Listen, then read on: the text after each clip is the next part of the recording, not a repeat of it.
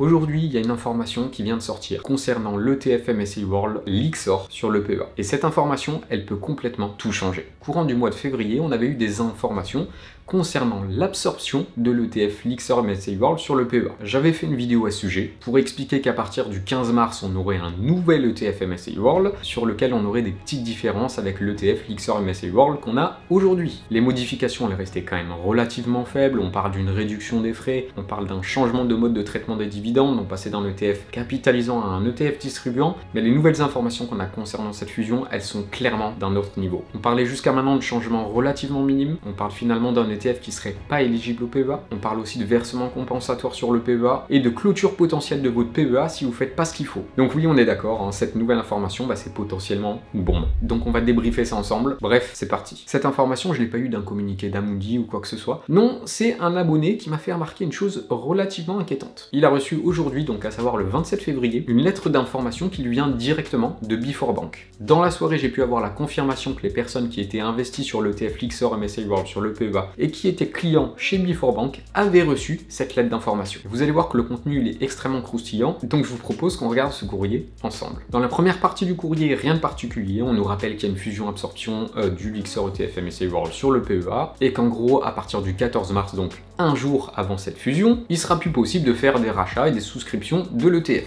Et c'est dans la partie juste après que tout commence, parce qu'effectivement, la Before Bank nous balance une bombe en nous disant que l'ETF MSA World du site ETF, à savoir le nouvel ETF qui sera disponible à partir du 15 mars et qui va remplacer le Lixor MSA World PEA, ne sera tout simplement pas éligible au PEA. Et que du coup, les possesseurs de cet ETF sur le PEA se verront verser le montant équivalent sur leur compte titre. Mais ça s'arrête pas là, parce que transférer des titres qui sont sur un PEA directement sur un compte titre, c'est pas possible. Dans ce cas-là, ça veut dire que sur le PEA, il va y avoir une vente de titres qui ne sont plus éligibles au PEA. Et c'est sensiblement la même chose que si vous vendiez des titres qui sont non cotés sur le PEA. Et ça, c'est tout simplement considéré comme un désinvestissement du PEA. Pour être en accord avec la réglementation et surtout du coup pour éviter une clôture du PEA, il va falloir faire dans les deux mois un versement dit compensatoire. Ça, peu importe que votre PEA ait plus ou moins de 5 ans. Imaginons qu'aujourd'hui vous avez 3000 euros d'investis sur l'ETF Lixor MSA World sur le PEA. Vous touchez à rien et vous êtes client de Before Bank. Dans les jours qui vont suivre la fusion, donc à partir du 15 mars, vous allez recevoir sur le compte titre l'équivalent de 3000 euros dans ce nouvel ETF MSA World. Et pour être en accord avec la réglementation, vous allez devoir sur votre PEA faire un versement compensatoire d'un montant qui correspond à la valeur des titres Lixor que vous aviez au 15 mars, c'est-à-dire le jour de la fusion. Si vous faites pas ça dans les deux mois, votre PEA doit être clôturé. Précision qui est faite par Before Bank, c'est que le versement compensatoire qui sera fait sur le PEA ne sera pas considéré comme un versement supplémentaire sur votre PEA et du coup n'impactera pas votre limite des 150 000 euros. La dernière information qui est donnée, c'est si vous êtes client Before Bank et que vous êtes investi sur cet ETF sur le PEA,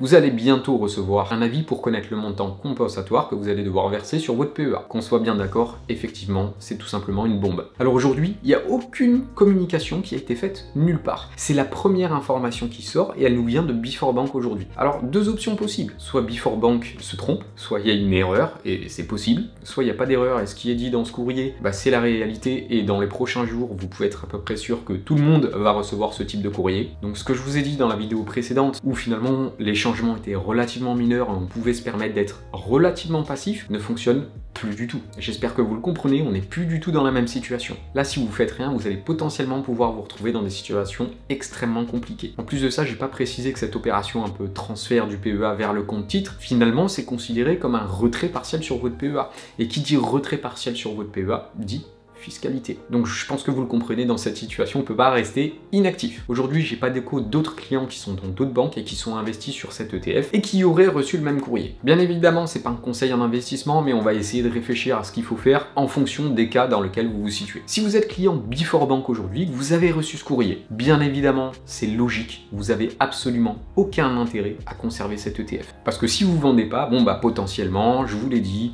versement compensatoire sur le PEA, potentiellement de la fiscalité parce qu'on est sur du retrait partiel, nouvel ETF qui se retrouve finalement sur le compte titre. Bref, vous l'avez compris, il n'y a absolument aucun intérêt à se retrouver dans cette situation-là. Dans ce cas-là, c'est relativement logique, il faut probablement vendre vos ETF. Et si vous voulez rester investi sur la World, bah, il faudra aller sur l'ETF Amundi MSA World. Le fait que la part soit plus de 400 euros, si vous avez un petit budget et que vous ne pouvez pas acheter du Amundi MSA World tous les mois, bah c'est pas grave, vous achetez quand vous pouvez le faire. Sinon, il faudra aller soit sur d'autres types d'ETF sur le PEA, soit aller sur un compte titre. Pour les clients qui sont pas chez Before Bank, aujourd'hui il n'y a absolument aucune communication. Si c'est une erreur de Before Bank, vous n'allez pas recevoir de courrier et on reste dans le cas de la vidéo précédente. Mais si par contre ce qui est dit dans le courrier de Before Bank c'est concret, vous allez forcément recevoir des lettres d'information, c'est quelque chose d'obligatoire. Donc il va falloir suivre de manière extrêmement attentive la réception potentielle de ce type de courrier. Bien évidemment, c'est pas un conseil en investissement, mais si vous recevez ce courrier d'information, il n'y a aucun intérêt à conserver l'ETF Lixor MSCI World après la date de la fusion.